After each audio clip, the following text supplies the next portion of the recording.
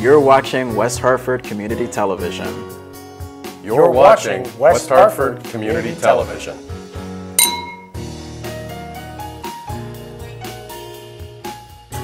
For the community, by the community.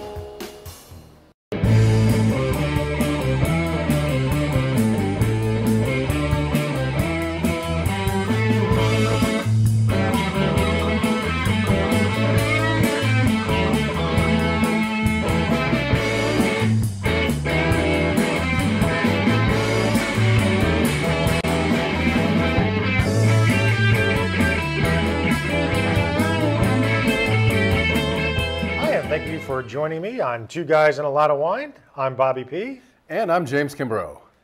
and this is Jim's show today. Okay, tonight we're going to talk all about acidity in wine. And we've done uh, similar shows in the past uh, with little experiments you could do at home uh, with the Body Basics show.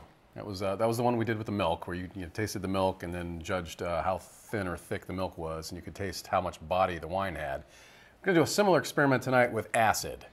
Um, you know, if you think about acid in wine, uh, acid really kind of clarifies and, and heightens any kind of food that you're eating. Um, but wine is really probably the most acidic food that you'll ever consume in your life. Uh, so it's interesting. It's yeah, it's fascinating. You, you think about uh, citrus fruits; those are going to be slightly more acidic than the wines we're going to taste tonight. But that's the only thing that you come across in your diet that's really got more acid in it than the wine. Uh, so, So the- we're getting our science on tonight. a little bit of science. I'm going to try and tone it down just a bit. You know, there's. Uh, Mr. Science would be I, proud. I was going to say that when we were on Mr. Science, we touched on pH balance in wine just a little bit, and that does deal with acidity. Uh, so I'll, I'll give a, just a few comments about that during the show tonight, but I'm, I'm not going to make this a science-centric show. This is all about wine. That's true. They're all whites tonight, right, Jim? Yes, uh, all whites. Uh, when you think of acid in wine, usually white wines have more of an acidic characteristic to them uh, than the red wines do. You still get a little bit of acid in the red, um, but there are there are a couple of different acids you're dealing with. You're dealing with uh, malic acid and um, tannin. With red wine is actually an acid, um, but that's we're not going to deal with that tonight. Not gonna get, we're not going to get too deep for me. No, I, I'm going to try and keep it easy. Okay, I appreciate Try and keep it easy. Uh, so what we're going to do is we're going to drink a progression of wines tonight that have uh, no acidity at all, and that would be the Marsanne grape, and then work all the way up to something that's incredibly acidic. That actually is very interesting because, you know, I, I'm a Sauvignon, Sauvignon Blanc fan, and I know people think that's a very acidic, which it is. And it it's is. Citrusy, It is, it's yep.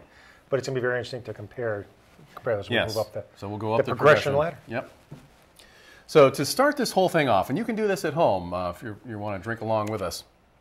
We're going to start with orange juice, and this is a fresh squeezed orange, and move to lemon juice and then lime juice. And this will get more and more acidic as we go through this. Now, people typically think of lemon as being the most acidic tart fruit that they can taste.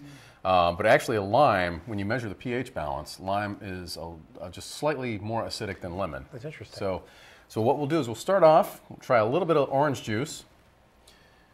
And you know, oranges are very sweet, so you're gonna you're gonna get a sugar component with this. Oh, yeah, that's a fresh squeezed orange. Yes. That's good, Jim. Fantastic. And this, if you look at the pH scale, the pH scale goes from zero to 14, zero being completely acidic, 14 being completely alkaline. Uh, seven, right in the middle, is neutral, which is where water is. Um, the orange juice that we just drank is about a th- uh, three. So we move to the lemon juice. This gets slightly more acidic. So this is about a, uh two, two and a half. I know that, that might be confusing because the, the orange juice is a bigger number, but you know you're moving towards seven, which is neutral. Yeah, that's a really bold You get a you there. get a lot more acid with this, don't you? You sure do. And once again, both the orange juice and even this tasting right here is very similar to some of the wines we'll probably be tasting too. That- in regards to what hits you. That's the same experience you're going to have. Is you know we're going to we're going to start with the Marsanne. You're not going to taste any acid at all with that, and then we'll move to the Viognier, which again is very low acid, and then we're going to jump to the Sauvignon Blanc. And I haven't had this one, uh, but I hope uh, just really shows off a lot of acidity, and the Riesling is going to show a lot of acidity as well.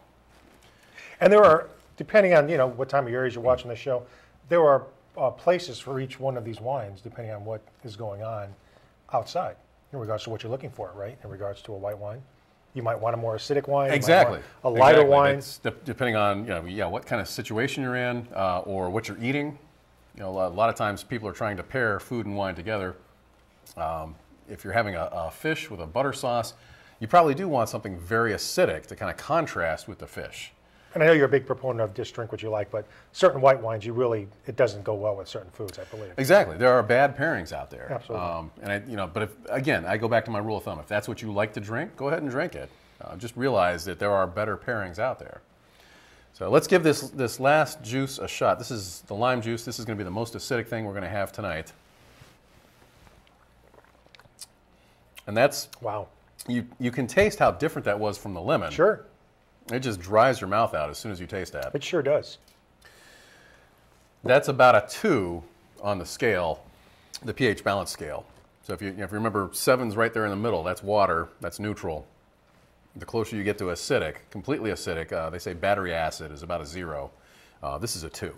You know, before you even pour the first one, which, which is a really important point for our viewers who might be either novices or getting into white wines, depending on what you like here on the table in regards to the orange, lime, or lemon, you might not like a certain wine if it has certain strong characteristics of either the orange, the lime, or the lemon. So this is actually a very good thing we got It going is, on here. and it, I, this is why I always say uh, there's you know everybody's palate is different, which is why everybody prefers different wines, which is why there's a there's a market for every wine that's out there. You know, the people drink white Zinfandel because they like something very sweet. And I will say, I think people are much more picky with whites than reds. I think people can just drink any red a lot of times. But whites, I think people get a little bit more picky. It probably because they skew more towards very acidic or Mm-hmm. less acidic, or, or there's something want, they want something very sweet. Yeah. I'm very curious for our first uh, science thing. All right, let's try the, let's try the Marsanne. This is a, a very rare grape here in the United States. Um, this comes from the northern Rhone Valley of France. It's a it's a common grape in France, but they don't. You know, when you buy French wine, they don't name it by the grape varietal. They just say it's this is a northern Rhone white wine. Um, so it's it's very recently come here to the United States and been marketed as Marsanne, which is the grape varietal. But it's going to have almost no acid at all. Hardly any aroma either, unless you really Yeah. get your nose in there.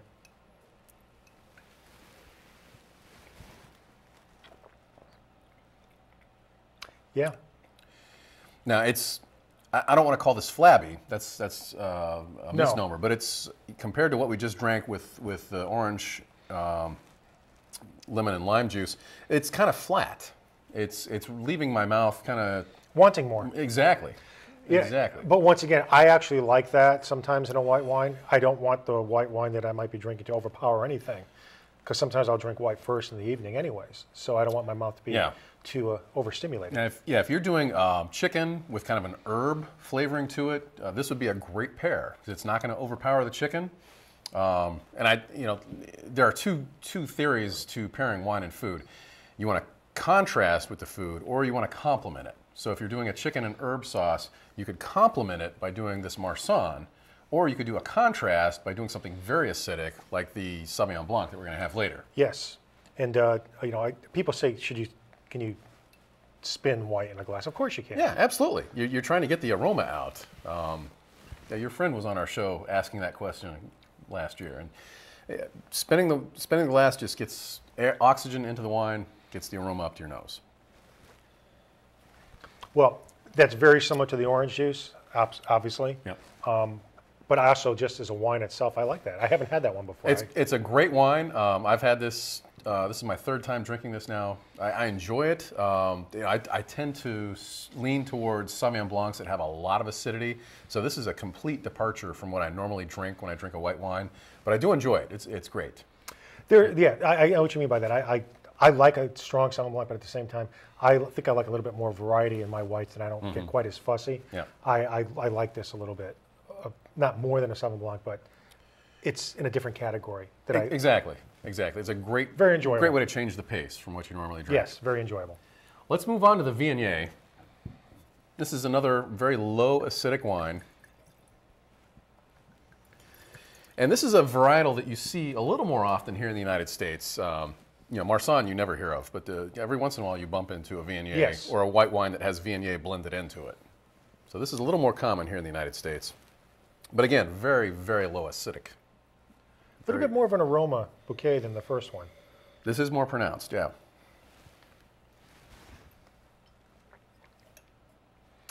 Yeah. You, you, you've got these in the right order. I can see the little step This, up. yeah, this, the whole point of this was to start very low acid, move all the way up. Um, you get a little minerality with this, uh, but there's no acidic bite to it at all. Uh, when you think of white wines and the acid, normally you're tasting that right on the side of the tongue. Um, when you get that really intense acidic taste, you're getting that right on the side of the tongue.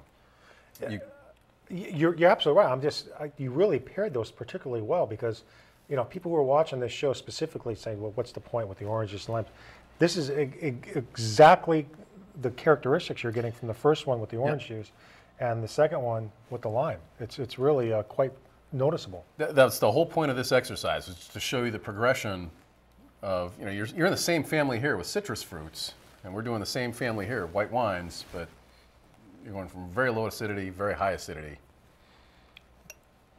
I like this one a lot too. Um, obviously, it's a different type of uh, wine than the first one we tasted. Um, this is a little bit more lingering on my palate. Um, I sort of like the first one as just a casual drinking white wine. This one is a little bit more detailed, a little bit more com- not complex, but a little bit more worthy of a little bit more um, definition in regards to Yeah. what you're tasting in your mouth. Yeah, yeah, this is a little more complex. It is, yeah. Uh, I would serve this with a fried calamari with the hot peppers. You know, this it's a, it'd be a good background wine, um, but at the same time, you know, the, the hot peppers. This would kind of kind of cool your mouth after having the hot pepper. Uh, it would, but it would work well with any kind of seafood. Jim, you made an excellent point because I love hot food. I love spicy food, whether it's uh, Thai or just anything hot. And a lot of times when you're at a restaurant, you're eating something spicy, and I still like to drink wine. You want to pair that hot spiciness with a particular type of wine. And some of our viewers might not know what to get. They'll just order a Chardonnay, and that's not going to no, work. that's not the right wine. Uh, normally, I steer towards a Riesling, and we're, we're going to try one of those later. Uh, but the Viognier would work really well with It Thai sure food would. also. Absolutely. And uh, what's even what's even great about that is it because I like my food so spicy, I think this would really cut it pretty quickly. So I can still enjoy the spice, take a small sip of this, and not be overwhelmed and start sweating at the dinner table. Exactly. Carrie doesn't Yeah. like that. Yeah, that. That's really good. That's it's, it's fat. What gave you the idea of this show? Was it our Body Basic show? Uh, yeah, there's, you know, there's, uh, I, I'll be honest, I stole this from the web. There's a whole series of wine workouts you can do. It's on foodandwine.com. Uh, so the body basics and this one, uh, there's a tannin exercise, which we can try in a future, future episode. but ours are better than the ones you saw online, right? Uh, well, you know, you get to get to drink the wines here. That's true. Instead of just reading about them. we're, we're cuter. All right, that, that's that's a great progression. I really enjoyed that. All right, so we're going to move on now to. This is the that- Sauvignon that Blanc the that you Sauvignon brought. Blanc, yes, that, that's a Spanish Sauvignon Blanc. It's probably not going to be quite as um, citrusy as a Marlborough, um, but you know, I, I think it might be. I mean, uh, you know, my palate probably isn't as pronounced with the over citrusy like Carrie likes and what you like. Uh, I know the Marlboroughs tend to be the most acidic or the most citrusy Yeah. in the Sauvignon Blanc family.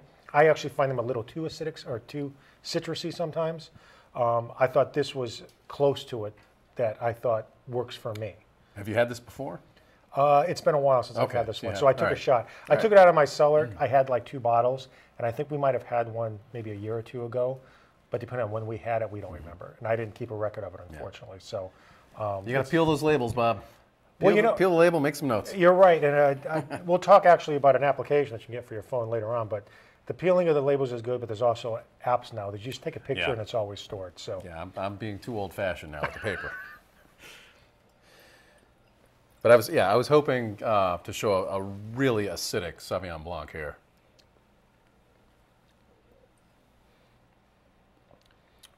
it's citrusy. It is. And I, I get some of the acid component that I was looking for. Uh, it doesn't have as harsh of a bite as like the Kono, which is a, a New Zealand Sauvignon Blanc, uh, or the Matua. Um, and you'll find the Matua everywhere here in Connecticut. Yeah, actually, Matua is actually in a lot of restaurants too. Love the Matua. It, it, it, Matua is more citrusy than this particular But thi- one. this is good. This is uh, almost buttery, uh, a little bit, it reminds me a little of a Chardonnay.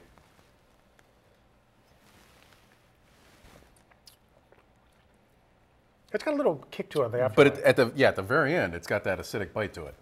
you know, not that we have one, but I will say the Marlborough tends to be one of probably the most citrus Sauvignon Blanc, which is why people who like that tend to always Yeah, lean you- towards a Marlborough. Yeah, Marlborough, anything f- from northern New Zealand is going to be really acidic. Really and have a- powerful. yeah. And if you like that, that's fine. Um, sometimes, though, it can be a little too overpowering for some people. Um, but there's a place for it, at least. I, uh, that's actually what I tend to lean towards. Uh, if, if I'm drinking Sauvignon Blanc, I want something with a lot of bite, a lot of acid. So that's that's what I look for. Well, you know, I, I, I think we never go wrong with anything Spanish. So I, when I saw that I had a Sauvignon Blanc with Mendoza in the cellar, I thought, well, we never really have a problem with anything Spanish. It always tends to be good.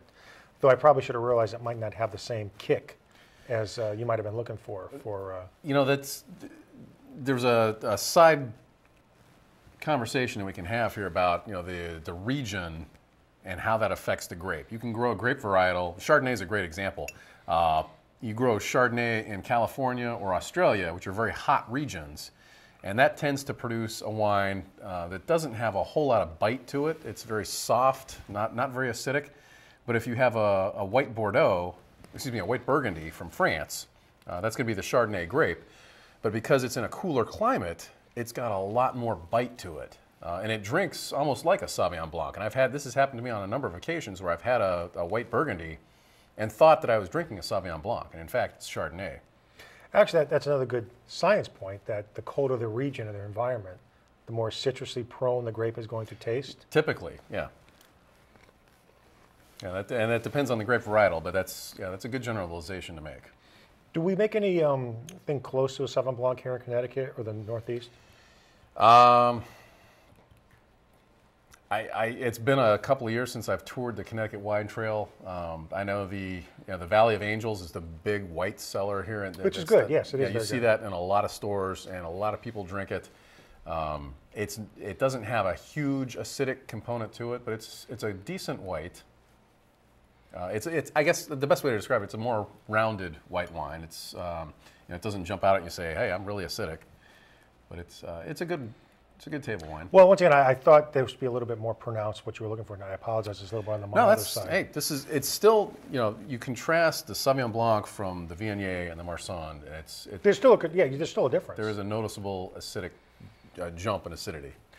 But I got to say, and we'll get to it in a moment, but I'm very excited to be tasting a German wine on the show tonight because I have always loved German wine. I've loved Rieslings, and we've never had a Riesling on the show. We haven't. And I had uh, an Alsatian Riesling picked out for the show, and I went back. I'd, I'd, consumed, I'd had bought this a couple of times at the store, and I went back to get it again, and they were out. And the wine merchant there steered me towards uh, the Uns- Ansfei Drei, which is one, two, three in German. That was good.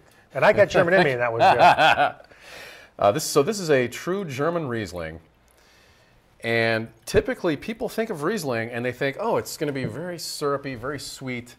Um, the Riesling grape is sweet, but it's also incredibly acidic. And that's why we're drinking this last. Uh, if you look at the, the acidic scale, you know, Marsanne's all the way down here, Riesling's all the way up here.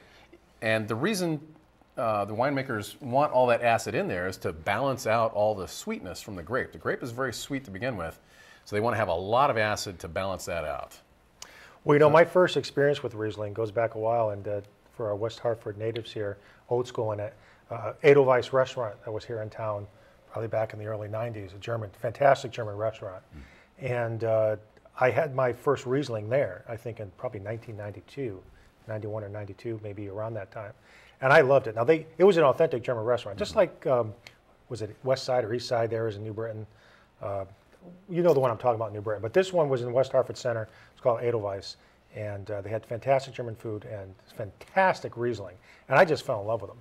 I just they only had one. I, the one that I tasted was delicious, and I since after that experience looked into Rieslings, but I think Rieslings are fantastic. They are. And I think what happens with American wine consumers is they typically find a, a bad brand or a bad winemaker making Riesling, and they get turned off to the whole varietal. And if they have a really good German Riesling or an Alsatian Riesling, uh, I think they would fall in love with it. When I, I cheated, I took that sip before That- you. no, go ahead. Go ahead. Um, but I will say, and uh, this Hmm. is fascinating to me, just fascinating. You get the same sucking of the moisture. Yes. Right here. Yeah. As you did when we had the uh, the lemon juice, or the, the lime juice. Yeah, it's it's acidic. It the great thing about acid though is that it makes your mouth water. It, you get that sucking feeling. I'm getting that right now, actually. But at the same time, your mouth waters, which is completely different from tannin in wine. If you think of red wine and it's really high in tannins, that just turns your mouth into a desert. There, there is no mouth watering sensation. It's just all the moisture is gone. Now, is there? Do you know a little bit about the science of why that happens or what's going on? The with tannins, uh, though, the tannin in the wine is grabbing onto proteins in your mouth, so it kind of gloms onto them, and that's that's that kind of puckering sensation you get with tannin, and that's why your mouth turns into a desert. So I know this particular Riesling. I know if I'm mistaken, I apologize, but there are three types of the scales for Riesling. There's uh, yeah, there's a Trocken, which is uh, I think a very dry wine, and I, I I'm not familiar enough with the other two. I can't recall. I should have wrote My that down. German's not that good, but uh, you know we can do a whole Riesling show and, and investigate that. and this is the Trocken, This is a Trocken, yes. because uh, this definitely has the uh, the lime characteristics Mm-hmm. that we're talking about in this little experiment that we're doing. Yeah. And uh, if you know, if, if you're trying to get some idea what will happen when you drink Latrocken, this particular one, you're going to get that little bit of both puckering, and your mouth's going to water a little bit. And for me, that means I just want more wine. Exactly. Yeah, and there's there's really not a sweet component to this at all. There is not. It's usually when you drink a Riesling, you get some kind of sweetness, uh, and it can go all the way to very syrupy, uh, sticky sweet, which is what turns people off. Uh, but this has very little sweetness to it at all. I, I love this. This is why, like I said, I mean, Rieslings are fascinating to me because there is not an ounce of sweetness in here, or butteriness, or syrupiness. This is just, to me, what I enjoy about why it's fantastic. How did you find this? This, uh, I, you know, I went back to the store where I normally got the Alsatian, and they were out of it. Um, and the, the wine merchant steered me towards this. So I want to thank Brix from Boston. That's the wine store in Boston. Um, they've got a great selection of Rieslings, and I'll be going back there again for more of this. Got to have him on the show. Yeah. I, you know, we're gonna have to do a remote. We're gonna have to take the cameras up to Boston. I think Jachu might be up for that. You know, just get him a chance to get him out of the office here and uh, travel up to Boston. But you know, Jim, I got to say, I mean, I really am impressed with that Riesling. If you don't mind, I, I want one more little splash. yeah, absolutely. Only because I'm really fascinated by just how lime characteristic that is in regards to what the experiment you're trying to portray here. And keep in mind, you know, when you drink Riesling, uh, this pairs really well with fatty foods. And we've talked about this on our Thanksgiving special. Um, you know, there, there are certain wines that you, you want to steer away from when you're, when you're eating a Thanksgiving dinner or any kind of meal that has a, a fatty characteristic to it. So uh, if you're having pate, um, if you're having uh, chicken thighs or, you know, the Thanksgiving turkey, the dark meat, uh, you want to steer away from the Cabernet Sauvignon and move more towards something that's really high in acid. So you want to have a Sauvignon Blanc or a Riesling. You know, I got to say, I, I love holidays, but you really, it's very difficult to pair reds with turkey. The- yeah, the only thing that really works well is a red Zinfandel. And, and that's, again, because of the high alcohol content. Because you, you know, you have big family gatherings, people always put out red wine because they feel they have to. I'd be much more comfortable drinking whites for most of the food for Thanksgiving, in my own personal opinion at least. Because generally you get the turkey, you get the stuffing. Uh, um, but uh, these are just, it, this particular Riesling is just, it blows me away. I might have to go and buy some of these. Uh, Yeah, the go show. look for this. Uh, my mother-in-law hates any kind of sweet wine at all.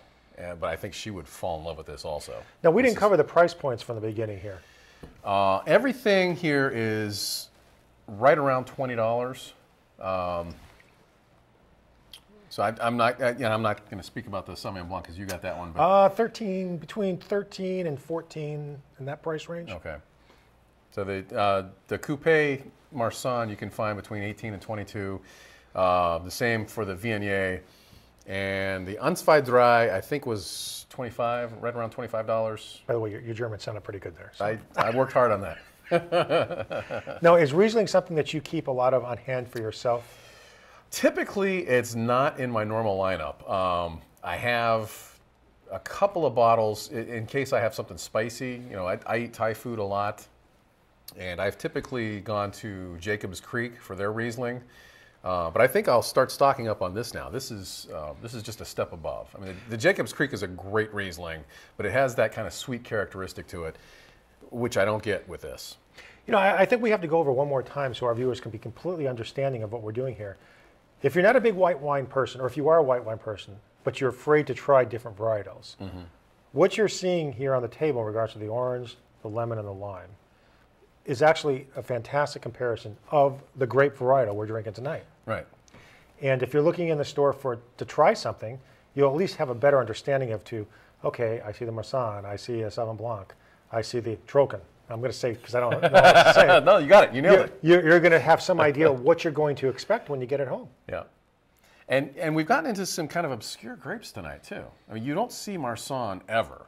Uh, and the only reason I found out about it was doing research for this show. You know, I think uh, you. I don't know if you were. Yeah, you were here. I think uh, Jacob from uh, Wise Old Dog might have had a white on the show one time that had a Marsanne grape in it. Okay. I know he's big with the uh, obscure type grape varietals, and I think he might have had a Marsanne on the show. He tends to skew towards the French varietals. He does. He's he he likes his French like I do, and uh, but I don't remember what you know what it was exactly. But um, I thought everything we tasted tonight was a fantastic representation of the type of uh, type of grape, along with the citrus characteristics.